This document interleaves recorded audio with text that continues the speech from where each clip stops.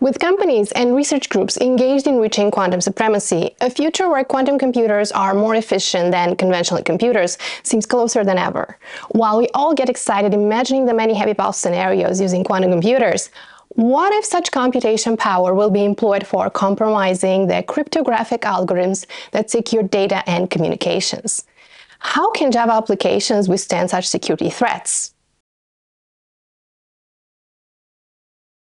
Welcome everyone to the Inside Java newscast, where we cover recent developments in the OpenJDK community.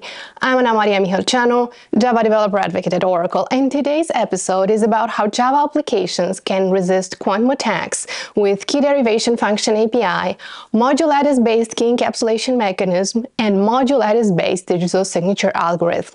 Ready? Then let's dive right in. Quantum computing leverages principles of quantum mechanics to perform computations way more efficiently than classical computers.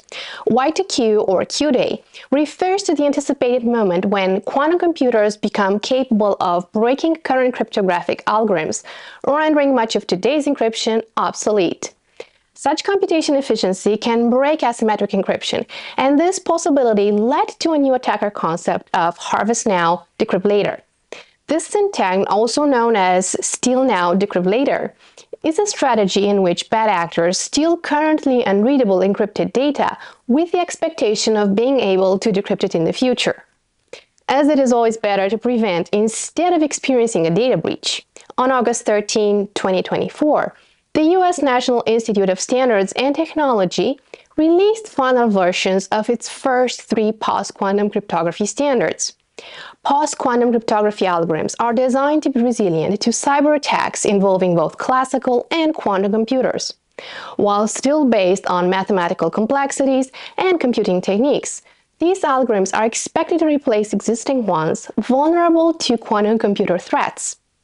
The Java platform followed NIST recommendations for post-quantum cryptography and joined the quantum attacks resistance by introducing Key Encapsulation Mechanism API in JDK 21 and followed with Key Derivation Function API, Module Lattice-based Key Encapsulation Mechanism, and Module Lattice-based Digital Signature Algorithm in JDK 24. Then, let's bridge the gap between these concepts. Public key cryptography has its roots in 1976 when Diffie and Hellman published new directions in cryptography. Computing advancements stimulate innovation, but also new types of security threats.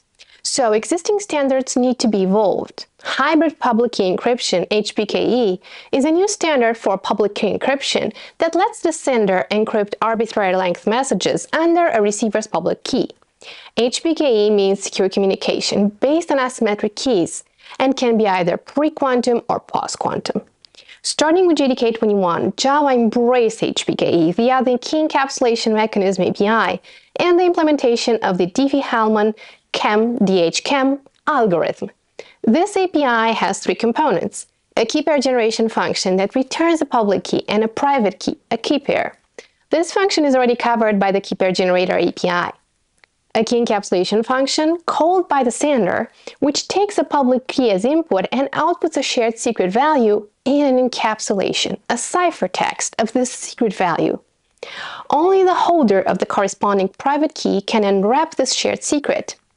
In consequence, an attacker who gets a hold of this encapsulation cannot recover even a single bit of the shared secret a key decapsulation function that takes as input the encapsulation and the private key and computes the shared secret value. From a KEM's shared secret, HPKE can calculate a series of derived keys that are then used to encrypt and authenticate plain text messages between sender and receiver. To perform these computations, a key derivation function, KDF, reads in input keying materials with optional parameters to either extract new key material, or securely expand values into a larger stream of key material. As KDF represents another stage towards HPKE, Java 24 previews the key derivation function API, KDF API, via JavaX Crypto KDF class and three HKDF parameter spec subclasses, each key derivation function has two foundational operations. Instantiation initialization via KDF get instance that creates the KDF and initializes it with appropriate parameters. Derivation, which accepts key material, other optional inputs, and parameters to describe the output, and then generates the derived key or data. All these changes in the JDK security come together to fulfill RFC 9180 on hybrid public key encryption.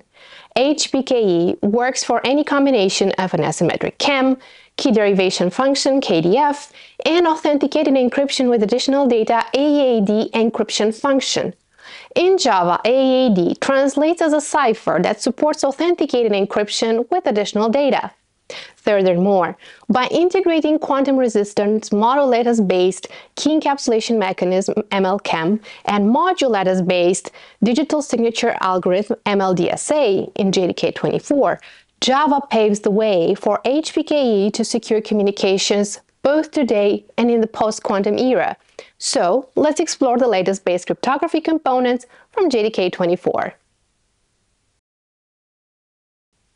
Each application protocol contains multiple steps that are related to HPKE, and those function independently. For example, HPKE can debut with key encapsulation mechanism via DHKEM, key derivation function, and authenticated encryption with additional data. When quantum computers become a reality, lattice-based KEMs can replace key encapsulation mechanism with DHKEM.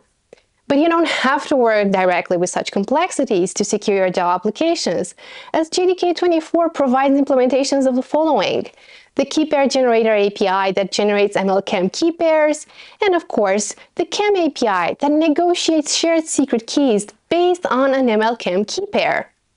Moreover, these APIs use a new standard algorithm family name, MLKEM, and any of the parameter sets for MLKEM represented by the name parameter spec constants newly introduced, MLKEM 512, MLKEM 768, and MLKEM 1024.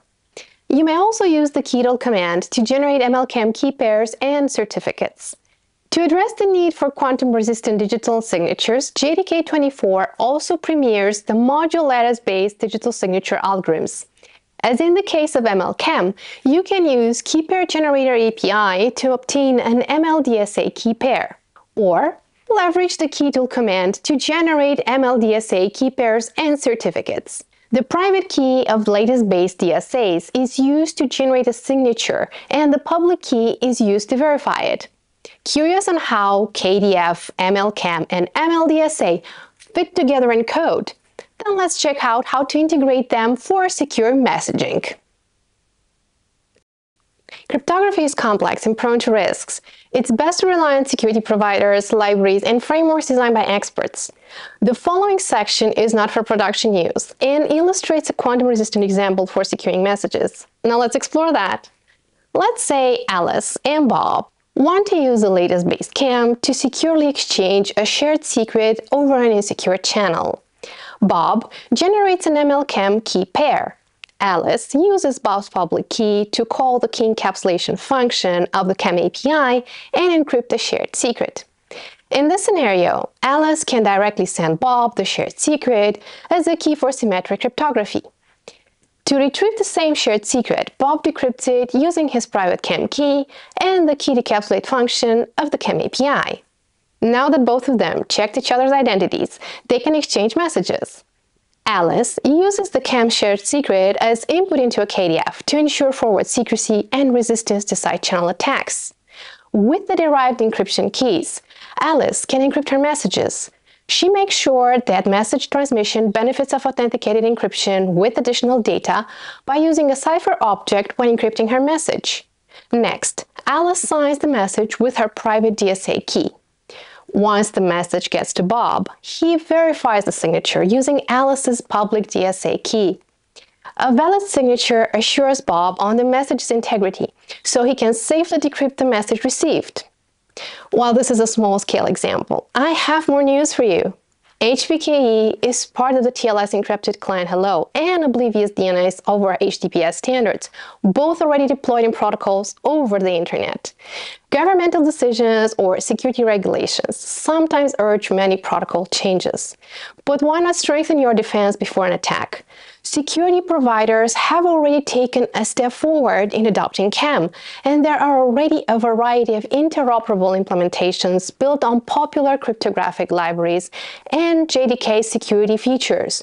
So, Take care of your application by updating it to a recent JDK version and bringing its security to the quantum-resistant era. And that's it for today on the Inside Java Newscast. Share your appreciation through the like button. Pass this video to your colleagues and friends and let me know in comments how will you prepare your Java application to resist quantum attacks. Until next time, subscribe and ring the bell so you won't miss any news on Java.